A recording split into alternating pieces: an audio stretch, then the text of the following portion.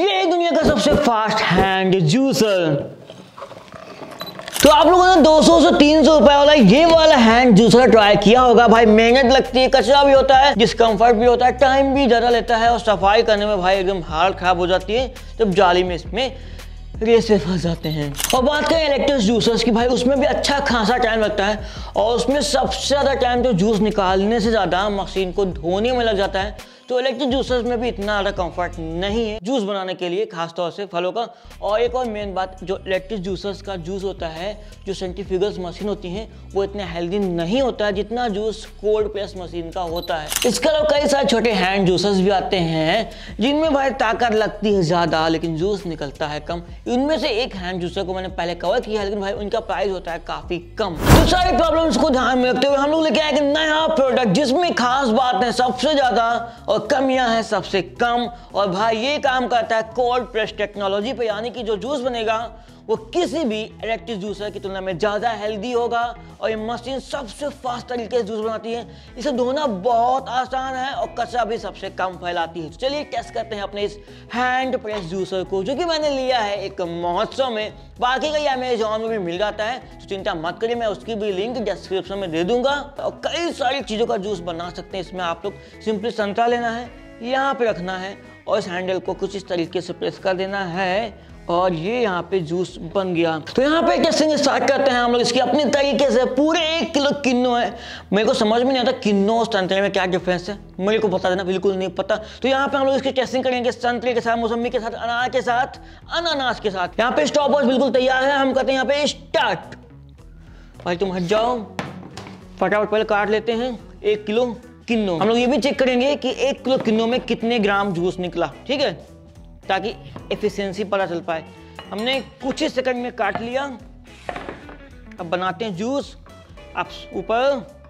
मैं पहली बार बना रहा हूँ। अंकल जी का एक्सपीरियंस ज़्यादा है। और ये पहला।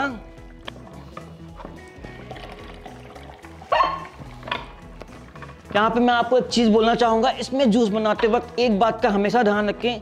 कभी भी हाथ इसके बीच में ना लाएँ। आपको चोट लग सकती है। आपका हाथ कट सकता है। और भाई फाइनली स्टॉप एग्जैक्ट चार मिनट में मैंने पूरी तरीके से किन्नों का जूस निकाल लिया। अगर एक्सपीरियंस होता तो सच में तीन मिनट ही लगता मुझे। भाई साहब, यहाँ पे एक बात ध्यान रखना, हमने किसी भी संतरे का छिलका नहीं छिला है। तो छिलका छिलने का पूरा का पूरा टाइम बच गया और सिर्फ़ चार मिनट में कंप्लीट एक किलो ऑरेंज का जूस आप निकाल सकते हैं। और आप ये देखो, इसके अंदर जहाँ सा भी जूस नहीं बचा है। एक एक ऑरेंज अंदर से पूरी तरीके से खाली हो गए हैं और कोई भी बीज नहीं पीसा है। इस वजह से जूस बहुत ही मस्त होने वाला है। और ये गया जूस एक किलो में हमें मिला है। ओ भाई गजब पाँच सौ सैतालीस ग्राम, लगभग 57 परसेंट जूस मिला है हमें एक किलो में। मान के चलते हैं 600 तक हम लोग पहुँच सकते हैं अगर और मेहनत करें तो। मिनट की मेहनत का फल। आहा क्या मस्त लग रहा है। टेस्ट करके देखते हैं?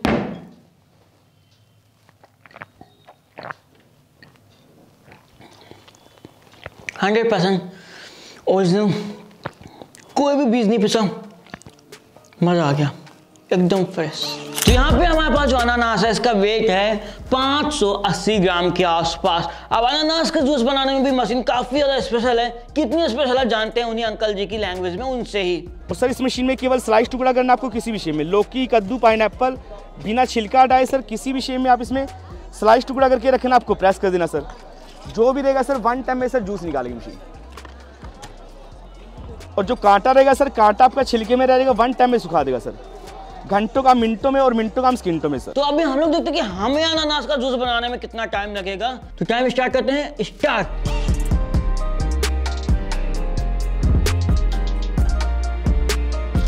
कि मैंने कोना काट दिया।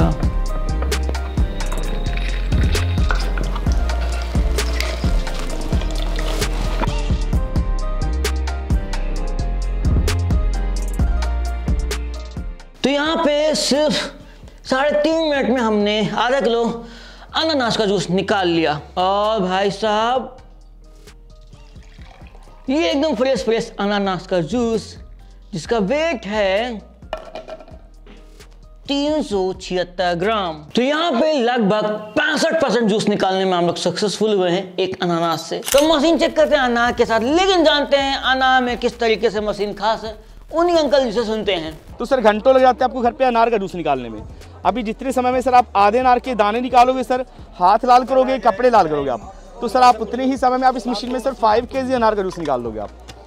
और वर्ल्ड का पहला ऐसा जूसर बना सर जिसमें आप बिना दाना निकाले आप घर पे अनार का जूस रेडी कर दोगे बीस पिसाएगा सर। छोटे छोटे बीस को मशीन निकाल देगी सर। तो यहाँ पे हमने टाइम स्टार्ट कर दिया है और देखते हैं एक किलो अनार आप लोग देख लो लगभग एक किलो अनार है यहाँ पे हमारे पास।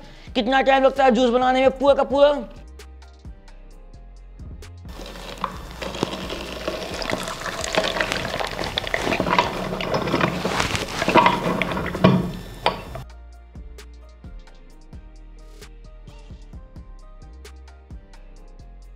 तो यहाँ हमें समय लगाया करीब तीन मिनट के आसपास एक किलो अनार का जूस निकालने में। और कितना कचरा हुआ, ये आपको यहाँ पे मालूम चल रहा होगा। मशीन को थोड़ा सेफ़ जगह पे रखें, नहीं तो ये भी आपको साफ़ करना पड़ सकता है। तो ये है इसका एक निगेटिव पॉइंट तो यहाँ पे एक किलो अनार में मिला है हमें वाव करीब 440 ग्राम जूस। अरे 400 सिर्फ़ चवालीस परसेंट की एफिशिएंसी हो सकता है, आप लोग निकालना, बताना आप लोग जिस तरीके से निकालते हैं तो कितना परसेंट निकलता है? अनार का जूस और बात करें छिलकों की, काफ़ी हद तक जूस निकल आया है देख के तो लग रहा है। हाँ एक आधे दाने रह गए हैं, ये देखो, किसी किसी अनार में। तो यहाँ पे एक किलो मौसम्बी है, लगी हाथ, इसका भी टाइम निकाल लेते हैं और जूस निकाल लेते हैं, कितना निकलेगा। तो टाइम स्टार्ट नाउ भाई साहब, मौसम्बी अच्छी नहीं है जूस कम निकलेगा, पहले बता दे रहा हूँ। क्या कटी मौसम्बी?